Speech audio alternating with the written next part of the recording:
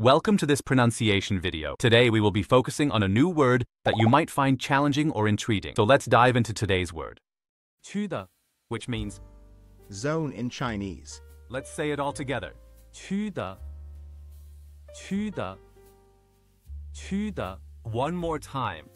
区的区的区的 Thank you for joining us on this adventure in pronunciation. Remember, language is a journey, not a destination. Keep exploring, experimenting, and expanding your linguistic horizons. We'll see you next time.